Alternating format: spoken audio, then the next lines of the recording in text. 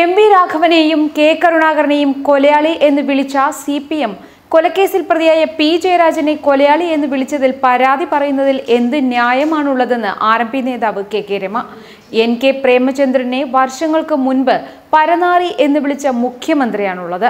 മാത്രമല്ല ഇപ്പോഴും അതിൽ ഉറച്ചു നിൽക്കുന്നു എന്നുമാണ് പറയുന്നത്. ജയരാജൻ ജയിക്കരുത് എന്നത് വടകരയിലെ ബഹുഭൂരിപക്ഷം ആളുകളുടെയും ആവശ്യമാണ്. എതിരഭിപ്രായം പറയുന്നവരെ കൊന്നുകളയുന്ന രീതിയാണ് സി പി എമ്മിന്റേത്. ഇത്തവണ കേരളത്തിൽ സി പി എമ്മിന് രണ്ടോ മൂന്നോ സീറ്റ് മാത്രമേ ലഭിക്കാൻ സാധ്യതയുള്ളൂ. അസഹിഷ്ണുതയ്ക്കെതിരായ ഇരട്ട പ്രഹരമായിരിക്കണം തെരഞ്ഞെടുപ്പിൽ പ്രതിഫലിക്കേണ്ടത്. ജനാധിപത്യ മതേതര ഭരണമാണ് ഇന്ത്യയിൽ വരേണ്ടത്. ഇത് ഞങ്ങളുടെ മാത്രം ആവശ്യമല്ല. ഇത് ഒരുപക്ഷെ കേരളത്തിലെ വടകരയിലെ ബഹുഭൂരിഭാഗം ജനങ്ങളുടെയും ആവശ്യമാണ്. പിന്നെ ജയരാജൻ ജയിച്ചു പോകാൻ ഇടയാകരുത് കാരണം ഇവിടെ ജനാധിപത്യം പുനഃസ്ഥാപിക്കണം. എല്ലാവർക്കും ജീവിക്കാനുള്ള അവകാശമുള്ളതാണ് എതിരഭിപ്രായങ്ങളെ കൊന്നു തള്ളുന്ന രാഷ്ട്രീയം അവസാനിക്കണം എന്നത് ഏതൊരു മനുഷ്യരും ആഗ്രഹിക്കുകയാണ്. മനുഷ്യത്വമുള്ള മുഴുവൻ മനുഷ്യരുടെയും ആഗ്രഹമാണ്. ഈ ഹരിഹരനെ ഇപ്പോൾ വേദികളൊന്നും കാണാറില്ല ആരംഭിട്ട്? ഹരിഹരണം ഹരിഹരനും വേണുവും തമ്മിൽ അങ്ങനെ എന്തെങ്കിലും പ്രശ്നങ്ങളോ എന്തുകൊണ്ടോ ഇതൊക്കെ സി പി എം ഉണ്ടാക്കുന്ന കുറേ ഇതാണ്. ഹരിഹറിനില്ലാതെ ഹരിഹരൻ ഞങ്ങളുടെ കേന്ദ്ര കമ്മിറ്റി അതൊക്കെ അടിസ്ഥാനപരമായ. ഈ കേരളത്തിൽ ഈ തെരഞ്ഞെടുപ്പിൽ യു ഡി എഫിന് എത്ര സീറ്റ് കിട്ടും എന്ന് വിലയിരുത്താൻ പറ്റും?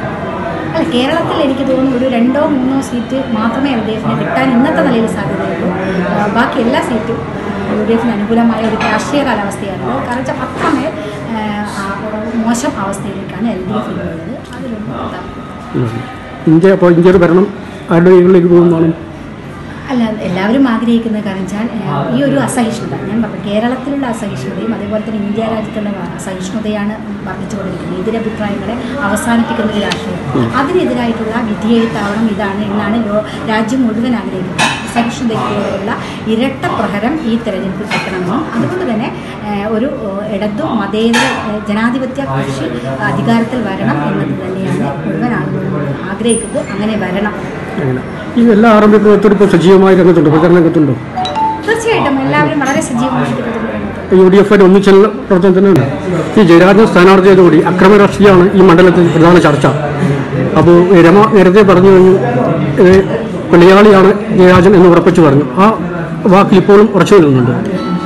രണ്ട് കൊലപാതക കേസിൽ സി ബി ഐ കൊലപാതകത്തിൽ പ്രതിയാണ് എന്ന് സത്യവാങ്മൂലം കൊടുത്തരാം പത്ത് ക്രിമിനൽ കേസിൽ പ്രതിയായാലും ഇത് ഞാൻ മാത്രം പറയുന്നില്ല. ഇത്തരത്തിൽ കൊലപാതക കേസിൽ പ്രതിയായ ആളെ പിന്നെ ഏത് പേരിലാണ് വിളിക്കുന്നത്?